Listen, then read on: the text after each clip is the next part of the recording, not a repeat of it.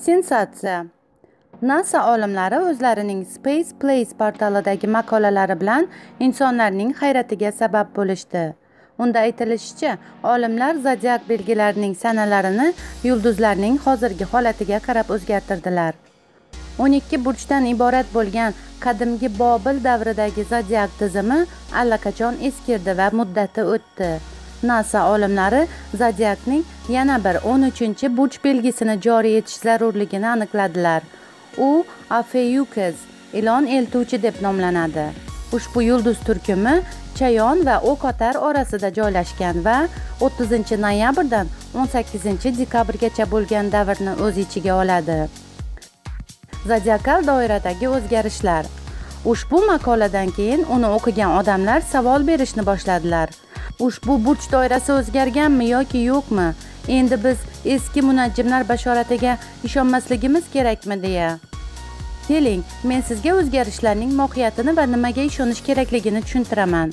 Bobil zodiak doirasini ishlab chiqishda oyning fazalariga asoslangan holda 12 oylik odatiy kalendardan foydalangan. Shu tarzda zodiak tizimini 12 ta teng qismga bo'lish juda qulay bo'lgan. Va yana bir 13 burch belgisi paydo bo'lishiga qaramay qadimgi astronomlar uchun undan voz kechish qulayroq bo'lgan va ular amalda shunday ham qilishgan. Qizig'i shundaki bunday burchlarga ajratish taxminan 3000 yil oldin sodir bo'lgan. 3000 yildan ko'proq vaqt davomida yerning o'qi o'z pozitsiyasini sezilarli darajada o'zgartirdi. Yulduzli osmon ham sezilarli o'zgarishlarga duch keldi. Shuning uchun olimlar eng boshidagi dastlabki tizimni tubdan tuzatish kerak degan xulosaga kelishdi. Ushbu yangilik tufayli bizga tanish goroskoplar tizimi haqiqatan ham o'zgaradi. Qizig'i shundaki ba'zi nashrlarda allaqachon yangilangan va g'ayrioddiy munajjimlar bashorati nashr etilmoqda. Endi yer burch turkumlariga nisbatan o'z pozitsiyasini o'zgartirganda nasa zodiak belgilarini shu tarzda bo'lishini taklif qilmoqda. Tog' echkisi 20 yanvardan 16 fevralgacha. Qovg'a 16 fevraldan 11 martgacha. Baliq 11 martdan 18 aprelgacha. Qo'y 18 apreldan 13 maygacha. Buzoq 13 maydan 21 iyungacha. Egizaklar 21 iyundan 20 iyulgacha. Qisqichbaqa 20 iyuldan 10 avgustgacha.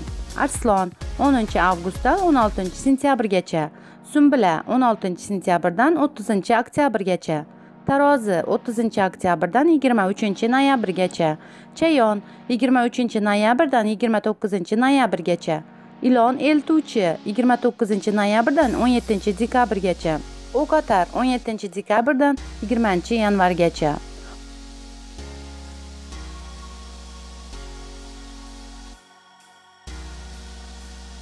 Olimlar shuningdek ushbu ilon eltuvchi zodiak tizimiga qo'shiladigan yagona qo'shimcha bo'lmasligi mumkinligini ta'kidlamoqda.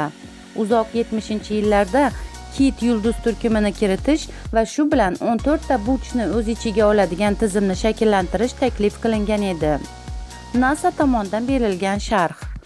Albatta insonlar bunday tizimga ishonadimi ishonmaydimi yoki eskisiga amal qiladimi bu har kimning o'zi biladigan ish. Biroq nasa vakili duen braunning izohiga ko'ra ular astrologiya bilan emas balki astronomiya bilan shug'ullanadilar va agentlik burch belgilarini o'zgartirmoqchi ham emas edi. Nasa vakilining so'zlariga ko'ra ba'zi ommaviy axborot vositalari ularning nashrini noto'g'ri talqin qilishgan. Nima bo'lganda ham odamlarning yangilangan 13 ta zodiak belgisi mavjud bo'lgan takvimni qabul qilish qilmasliklarini vaqt belgilaydi. Sizni bilmadimu men zodiakning 12 ta burchli goroskopiga ishonishda davom etaman. Chunki men chayonman va taroziga aylanish niyatim yo'q.